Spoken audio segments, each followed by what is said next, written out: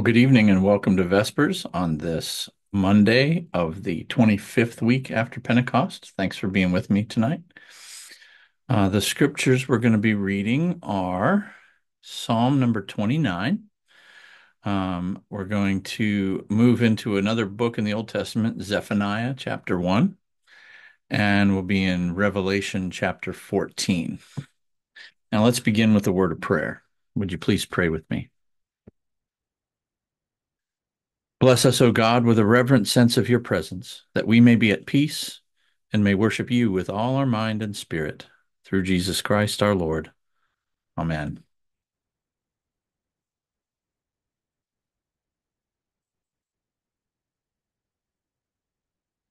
Jesus Christ is the light of the world, the light no darkness can overcome. Stay with us, Lord, for it is evening, and the day is almost over. Let your light scatter the darkness and illumine your church. Joyous light of glory of the immortal Father, heavenly, holy, blessed Jesus Christ.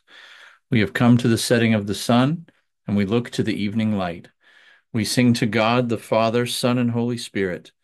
You are worthy of being praised with pure voices forever. O Son of God, O Giver of life, the universe proclaims your glory. The Lord be with you. Let us give thanks to the Lord our God. It is right to give him thanks and praise.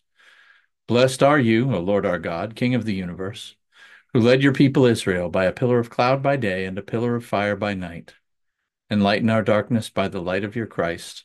May his word be a lamp to our feet and a light to our path. For you are merciful, and you love your whole creation, and we, your creatures, glorify you, Father, Son, and Holy Spirit. Amen. Let my prayer rise before you as incense, the lifting up of my hands as the evening sacrifice. O Lord, I call to you. Come to me quickly. Hear my voice when I cry to you. Let my prayer rise before you as incense, the lifting up of my hands as the evening sacrifice. Set a watch before my mouth, O Lord, and guard the door of my lips. Let not my heart incline to any evil thing let me not be occupied in wickedness with evildoers, but my eyes are turned to you, Lord God. In you I take refuge. Strip me not of my life. Glory to the Father, and to the Son, and to the Holy Spirit, as it was in the beginning, is now, and will be forever. Amen. Let my prayer rise before you as incense, the lifting up of my hands as the evening sacrifice.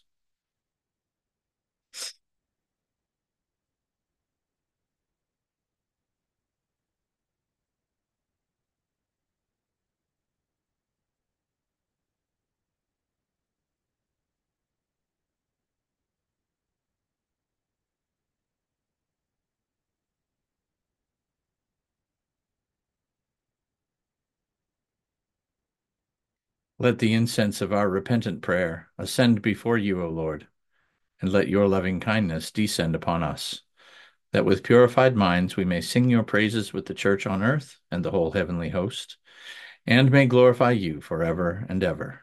Amen. Okay. Our psalm is number 29. Ascribe to the Lord, you gods. Ascribe to the Lord glory and strength. Ascribe to the Lord the glory due his name. Worship the Lord in the beauty of holiness. The voice of the Lord is upon the waters. The God of glory thunders. The Lord is upon the mighty waters. The voice of the Lord is a powerful voice. The voice of the Lord is a voice of splendor. The voice of the Lord breaks the cedar trees. The Lord breaks the cedar trees of Lebanon. He makes Lebanon skip like a calf and Mount Hermon like a young wild ox. The voice of the Lord splits the flames of fire. The voice of the Lord shakes the wilderness. The Lord shakes the wilderness of Kadesh. The voice of the Lord makes the oak trees writhe and strips the forests bare. And in the temple of the Lord, all are crying, Glory. The Lord sits enthroned above the flood. The Lord sits enthroned as king forevermore. The Lord shall give strength to his people. The Lord shall give his people the blessing of peace. The word of the Lord. Thanks be to God. Let us pray. Lord, our King, your voice sounds over the waters as you reign above the flood. Help us, who are born again by water and the Holy Spirit, to praise your wonderful deeds in your holy temple. Through your Son, Jesus Christ our Lord. Amen. okay, our first reading, Zephaniah. We're going to, um, we'll be in chapter one. If you want to go back and read the first six verses, that's what we would have read yesterday. Uh, today we're going to start at verse 7 and read verses 7 to 13. The day of the Lord is near. Be silent before the Lord God, for the day of the Lord is near. The Lord has prepared a sacrifice and consecrated his guests. And on the day of the Lord's sacrifice, I will punish the officials and the king's sons and all who array themselves in foreign attire.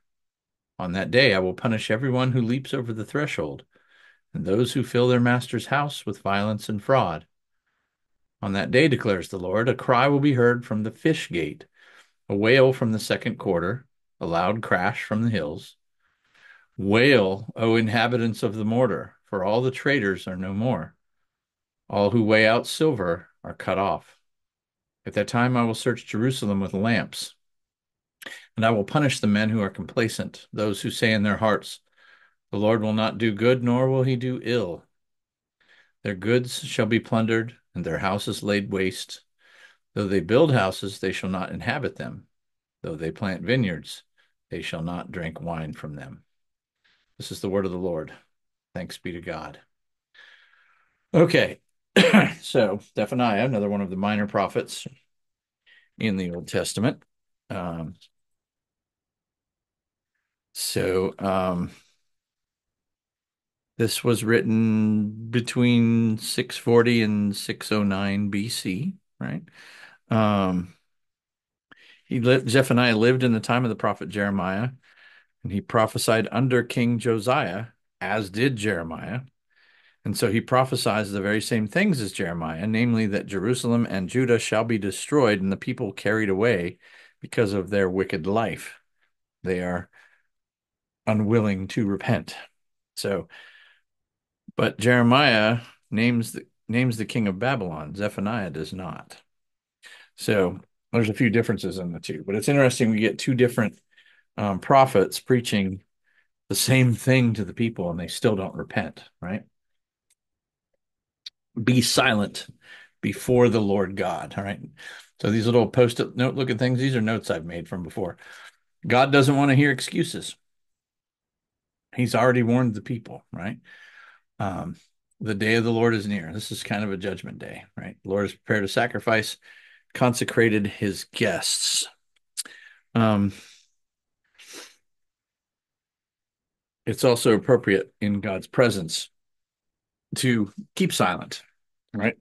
God's going to speak. Don't try to talk over him.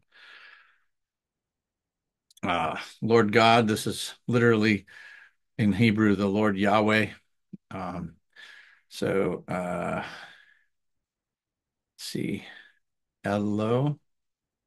Think it's oh Adonai. Sorry, I got that very wrong. Adonai.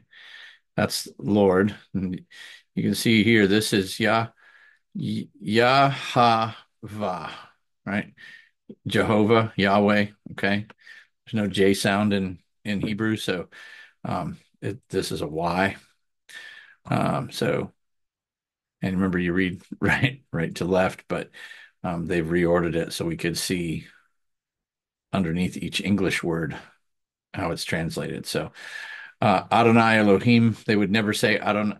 A Jew would never pronounce the this word. This is the word they will that will never come from a uh, a Jew's lips. They don't want to ever risk violating that commandment. So they would substitute Elohim um, instead of Yahweh. Um, anyway, um, so when in the presence of the Almighty God, be silent.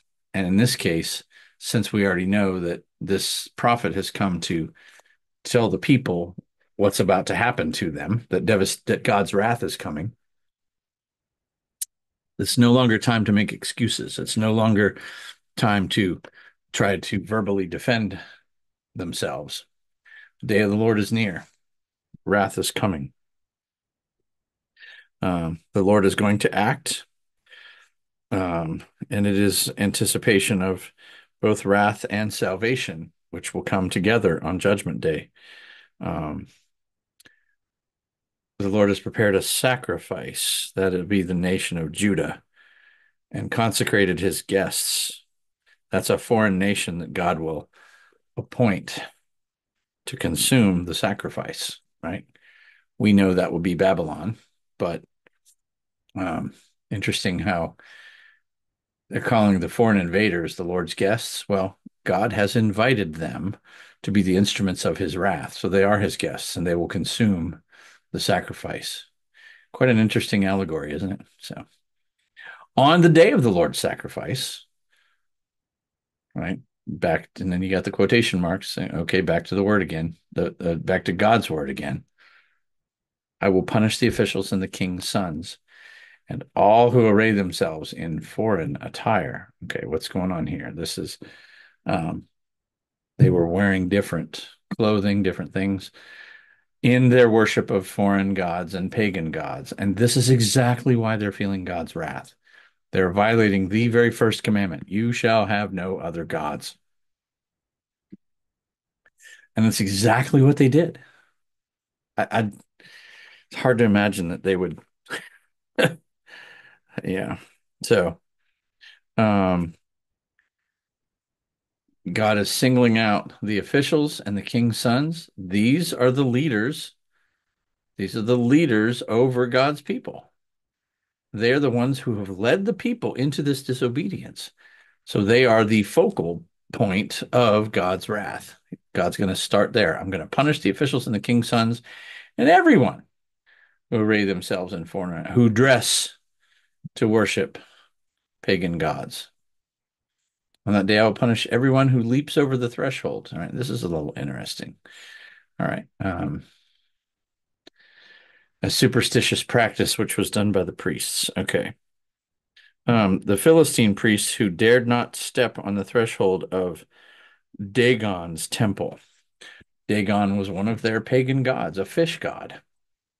Um, and so they they this was a, a recognition of a pagan god's power. That it's almost an act of worship.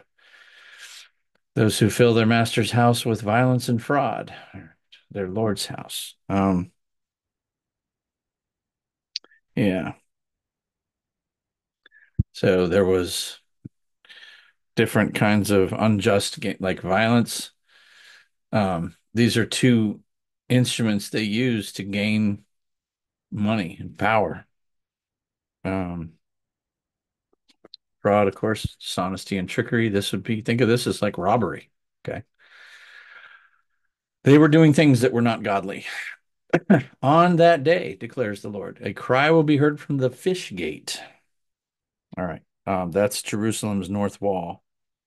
Um, the discovery of fish bones has confirmed that there was a fish market there. It was likely stocked with dried or salted fish.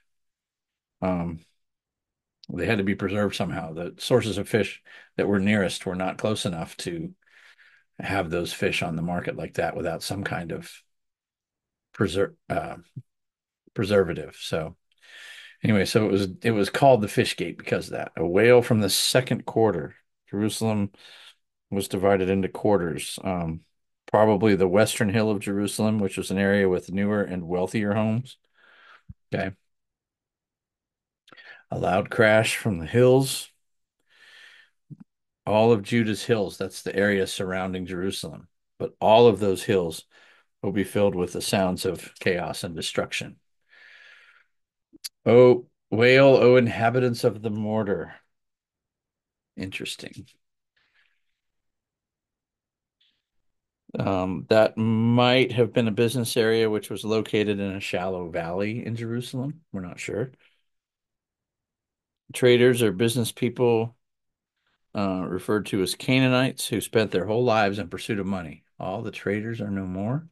All who weigh out silver are cut off, right? Um, silver was one of their um, one of their monies, one of their currencies, uh, weighing out silver, not not really coins, but just pieces of silver. They would just cut some off, break some off, and used by weight as their monetary exchange. At that time, I will search Jerusalem with lamps. Just like somebody uses a lamp at night to make a thorough search, the Lord will search meticulously through Jerusalem. I will punish the men who are complacent. Those who say in their hearts, the Lord will not do good, nor will he do ill. All right, so there were some Judeans who had become like pagans, believing that the Lord would neither help them nor harm them. This is the same as some of the early founders of the United States who were what you would call deists. Okay. A deist is someone who believes that God is, you know, he acted in creation and then he stepped back and just sits by and watches while we live our lives. He is a to them, he is an uninvolved God. That is not who the God of Abraham, Isaac, and Jacob is.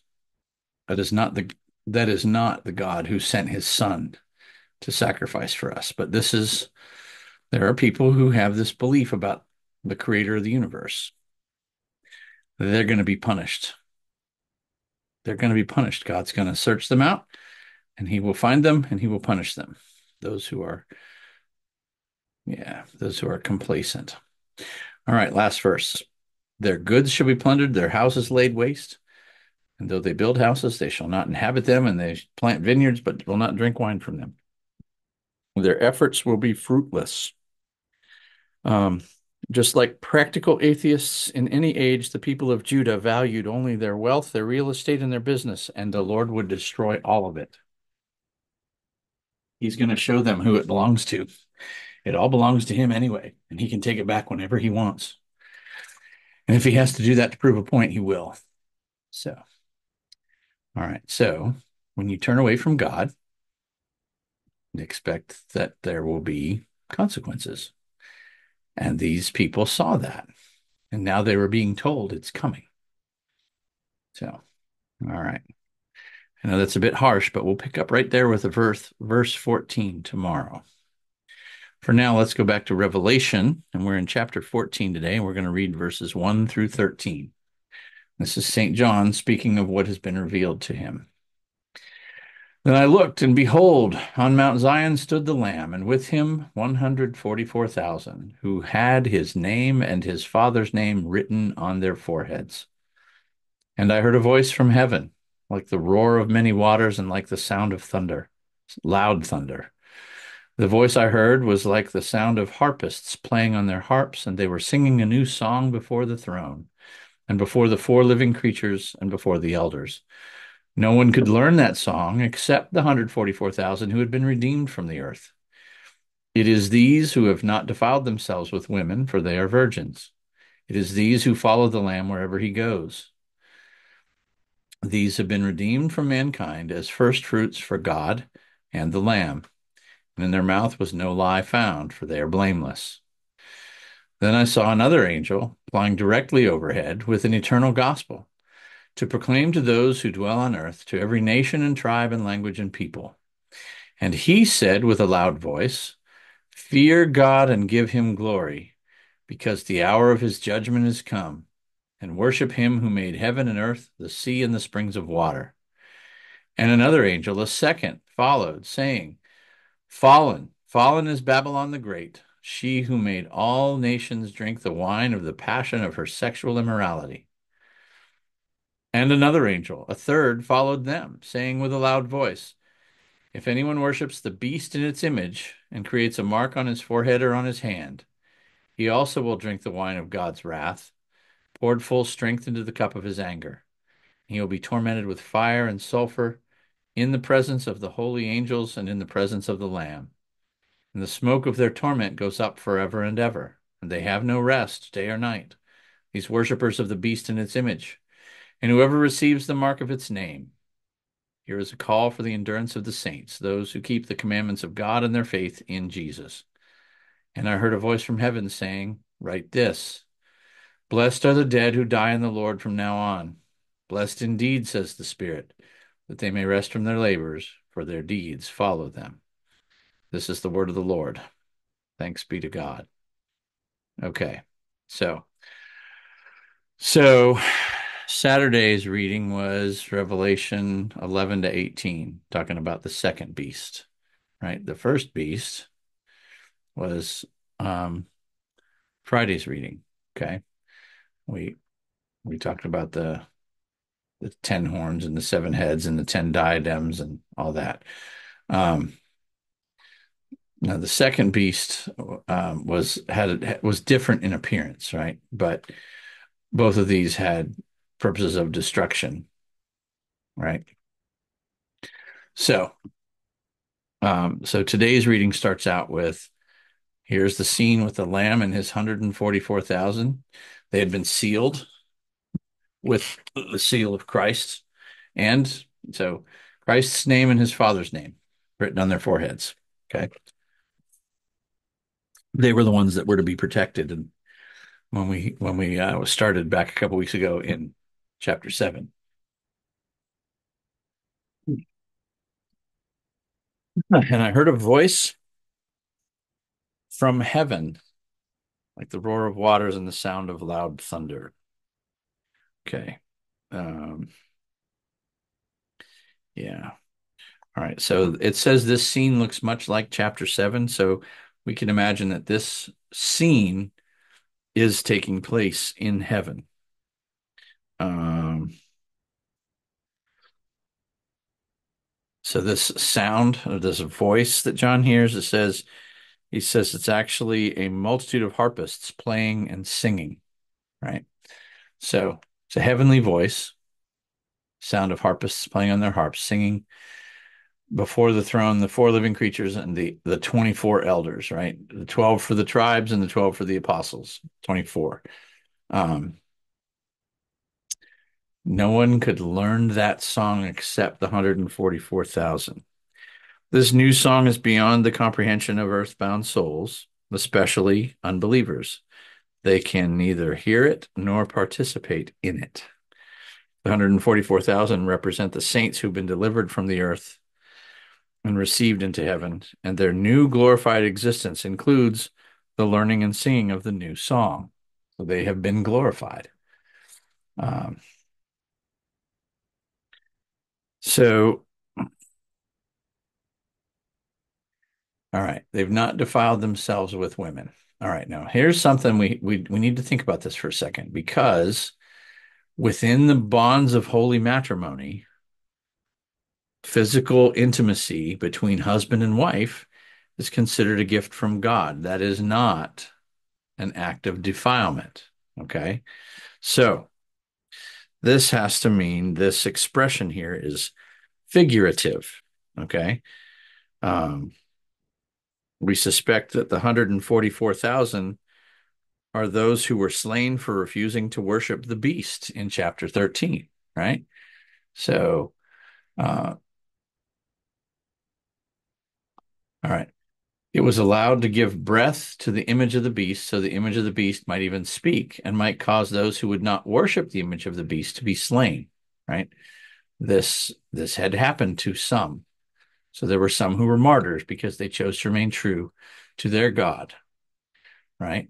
So um they either refused to worship the beast or they refused to receive his mark or both, right? And that was the next phrase. It also it also also it causes all small and great, rich and poor, free and slave to be marked on the right hand of the forehead, so that no one can buy or sell unless he has the mark. And if they didn't do that, they would be slain. So that's some of who these 144,000 are. They have not defiled themselves. They are untainted. They follow the Lamb wherever he goes. They have been redeemed from mankind as first fruits in their mouth was no lie found. They are blameless. They lived righteously. Um, when Paul describes the church church as Christ's bride, holy and without blemish, he means that she, the church, maintains purity by staying faithful to God and keeping his commandments. All right. So, in their mouth was no lie found. They refused to join in the worship of the beast. They resisted the lie that this beast was divine and worthy of devotion, and they are described as having washed their robes and made them white in the blood of the Lamb. So, that's who the 144,000 are. And we have the messages of the three angels. The first one, with an eternal angel to those who dwell, uh, with an eternal gospel to proclaim to those who dwell on earth, every nation, tribe, language, and people, right? The gospel is supposed to be shared with everyone, and this angel is doing that. Fear God and give him glory. Um, first blush doesn't sound much like the gospel, does it? Fear God, give him glory as our judgment has come. Doesn't sound good, but it is indeed good news for the faithful, since the saints are repeatedly depicted as suffering at the hand of evildoers in Revelation. So now God's judgment comes. The righteous will be, or the faithful, I should say, will be redeemed, and the evildoers who oppress them will suffer God's wrath. Right? Worship him who made heaven and earth, sea, and springs of water. Worship the creator of all creation. Right? So the faithful now see this as good news. Non believers should fear, rightfully so. Second angel, fallen is Babylon the Great, she who made all nations drink the wine of the passion of her sexual immorality. This is that um, sometimes referred to as the whore of Babylon. This is the first mention of a figure that subsequently plays a large role. Um, many people thought this referred to um, the imperial capital capital of John's time, which was Rome, but um, very clearly here, Babylon, whoever this is, is shown to be working with the two beasts, right? And again, this sexual immorality, remember, both in the Old Testament and in the New Testament, the relationship between God and the people is seen as a marriage, a wet, uh, um, you know, a husband and wife, a bride and a groom. Um, and when, you know, God being the groom, Jesus being the groom, the people being the bride, when the people worship another God, God takes it as infidelity in marriage, takes it as cheating. In the Old Testament, you remember when we were in Hosea, he he likened it to uh, an unfaithful woman who was so unfaithful that it was like she was a prostitute. Right? So, in Rome, certainly, the Roman culture worshipped many gods, not just one. So, it would be viewed as sexual immorality.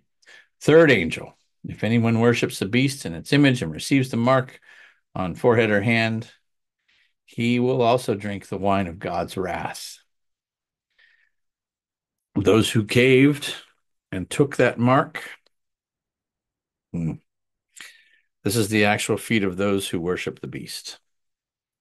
They will feel, they will drink God, the, the wine of God's wrath poured full strength into the cup of his anger, be tormented with fire and sulfur in the presence of the holy angels and in the presence of the Lamb. God and the heavenly host will witness this punishment the smoke of their torment goes up forever and ever. Right? It's a very large column of smoke, too tall to see the top. The final judgment will be public and for all to see. Right? They have no rest day or night, these worshippers of the beast and its image, and whoever receives the mark of its name. If they worship, or receive the mark, they will be punished. Here is a call for the endurance of the saints, those who keep the commandments of God and their faith in Jesus. It would be good to endure, right? Just as God provides eternal joy and security for his saints, so also eternal shame and torment await those who reject him. Um, as for verse 12, there's a note here. Um, The beleaguered church is encouraged to believe that whatever comes, their eternal election is secure. They know God will save them in the end. And the voice from heaven saying, Write this Blessed are the dead who die in the Lord from now on. Right? Those who die in the Lord. This is the second of seven Beatitudes. This blessing comes at a decisive moment as the final judgment is about to be revealed. Uh, boy, there's a lot on this one. Blessed are those who die in the Lord, whose deeds follow them, because their deeds give evidence of their faith in Jesus, right? Good works are evidence of faith. Those who persevere in serving Jesus, even in the midst of intense persecution, will receive eternal rest, which is the ultimate blessing from God. We are called to persevere. They will be given rest. Okay, let's conclude our liturgy.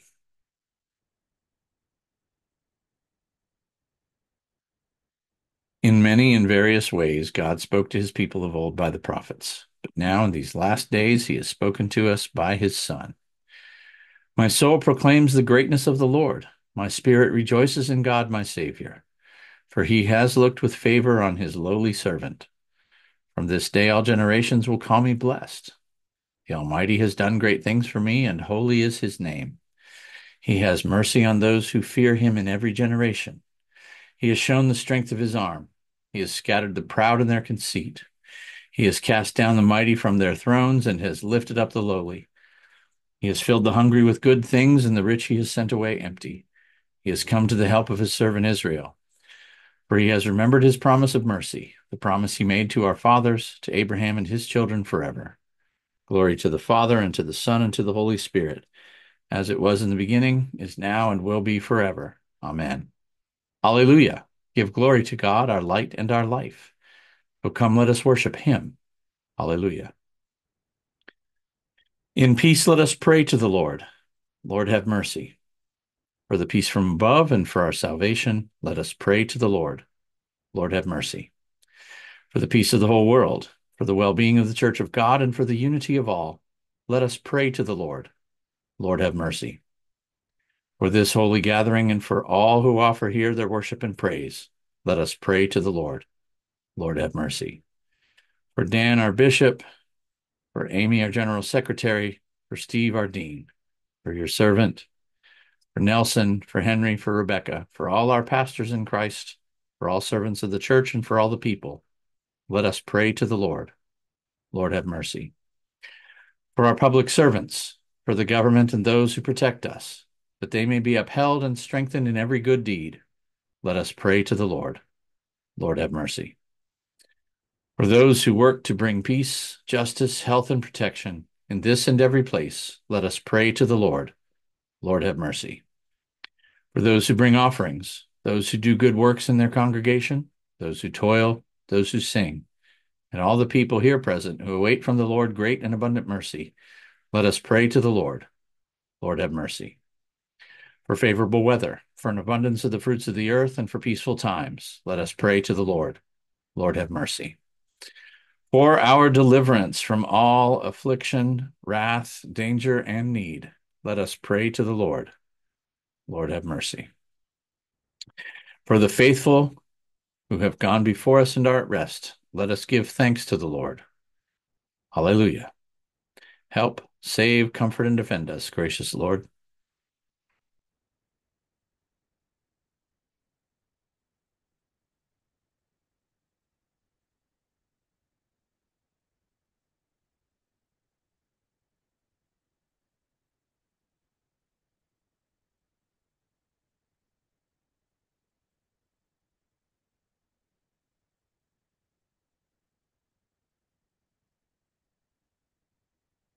Rejoicing in the fellowship of all the saints, let us commend ourselves, one another, and our whole life to Christ our Lord. To you, O Lord.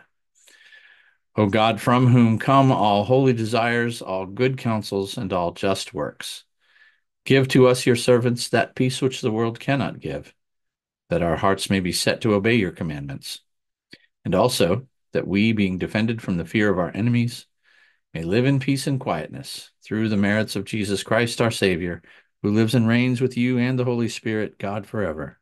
Amen. Lord, remember us in your kingdom and teach us to pray. Our Father who art in heaven, hallowed be thy name. Thy kingdom come, thy will be done, on earth as it is in heaven. Give us this day our daily bread, and forgive us our trespasses, as we forgive those who trespass against us. And lead us not into temptation, but deliver us from evil.